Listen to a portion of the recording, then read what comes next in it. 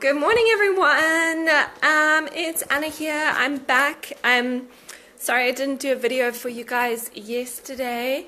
I was um, I had an event in London on the weekend. If you didn't see my um, video, I did on Saturday.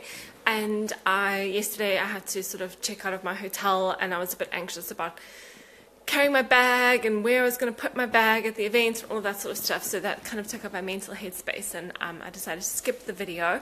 Um, so I just thought I'd give you guys a little update on my experience this weekend, and um, yeah, it was absolutely amazing. Um, I kind of want to say like everybody should go to like a Joe Dispenza event, but I also think that it's one of those things. If somebody had told me to go like a year ago, even um, I maybe wouldn't have got as much from it as what I got this weekend just because of where I'm at in my own sort of personal development. But it was amazing. And just really interesting thing was that the usually I find at least when you go when I go to an event or I do some traveling or I head down to London, um, I usually find like I'm sitting on the train coming home and I'm just really, really tired and exhausted and can't wait to get home and can't wait to get to my bed. Um, and this was like actually a completely different experience. So, yesterday I think we meditated. I have no idea how long we meditated for because um, I wasn't I wasn't timing it, and you do sort of really go deep and lose track of time. But I think it must have been about three hours. So we did three hours of meditations yesterday amongst the workshop, and um, and it was like my energy was just increasing and increasing as the event continued, as opposed to decreasing and decreasing as the event continued. And then the really funny thing was, um, I had to get the train at Clapham Junction back to Bournemouth last night, and I had got the train from Imperial Wharf, and the train from Clapham Junction was leaving at three minutes past seven, and I think I got in from Imperial Wharf at seven o'clock, one minute to seven, and I had to change platforms and get on a new train. And um, the train that I got on was like a little sardine tin, so everybody was just like rammed into the train. I was the last person to get on. I literally had to squeeze in, and it was so funny being on the train. And everybody was, I, you can completely imagine everybody was tired, they were grumpy, they were like waiting, they just wanted to get home. Now they realize they're going to have to stand for like half an hour to an hour um, because the train was full. And I just got on the train and I was like, just feeling so good and so happy and just wanted to smile at everyone. It was like a completely different energy um, to the energy of everybody else on that train. It was good for me, maybe not so good for everyone else. Um, so yeah, I got back home at like 10 o'clock last night and I was just feeling good. Um, so it really was amazing. Yeah, it was a really amazing experience, a really amazing event. Um, I met some really lovely people. Um, and yeah, I just it, it just it's so crazy now for me to think that I wasn't going to go because I was too tired and I was too busy. And really, what I was doing was too busy um, repeating the same behaviors that were just making me tired and, and not serving me.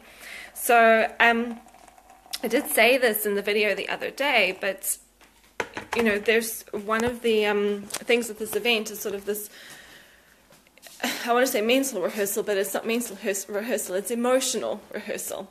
Teaching your body what it feels like to feel how you want to feel. So essentially choosing your emotional state. And, um, you know, a lot of things we do is that we're too busy.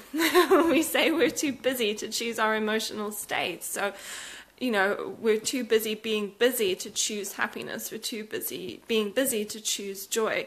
We're too busy being busy to, um, what are the other nice ones? To feel confidence or enthusiasm or love of life.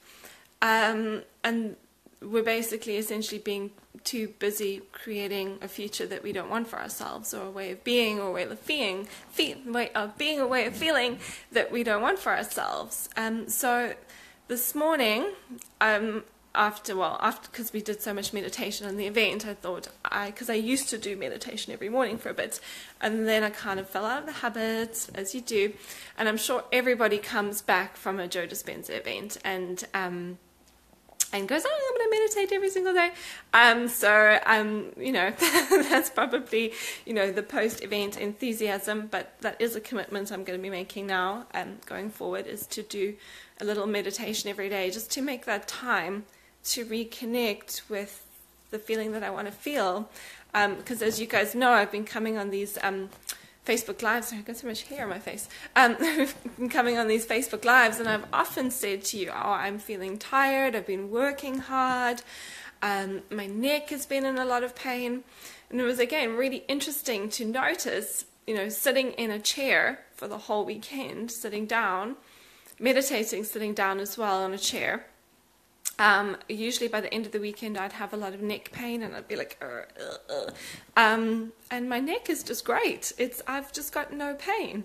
So um, yeah, that's the commitment I'm going to be making going forward. Is just making some time to get into that headspace every day. And I've already done it this morning, which is why this video is later than it would have been. I have been sitting here. This is my little yoga bolster. So I've been sitting on that for the past 40 minutes this morning, um, just doing a really, really nice meditation.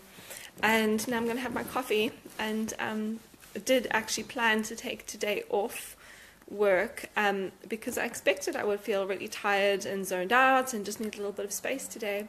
But I'm feeling really good. And it's a beautiful day. It's a lovely day today, beautiful morning. Look at that sky.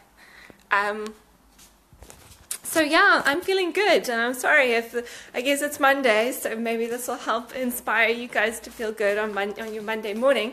Um, but yeah, so the question is, is what are you when you say you're too busy? Have a little think about what you're too busy doing, and if all that stuff is keeping you is keep all that stuff that is keeping you busy is just keeping you in a place you don't want to be because the longer you pay attention to that stuff and the longer that you continue to use that stuff as an excuse not to change, you will just continue to produce the same results. So that is something to think about this Monday morning. Um, have a look on the page later. I did a podcast last week with Vanessa French of V Fit, Vanessa French Fitness. I'm all talking about gut health. Um, so I'll be showing the link to that a little bit later um, when I work out how. So keep a lookout for that. And other than that, just have an amazing week. Have an amazing Monday.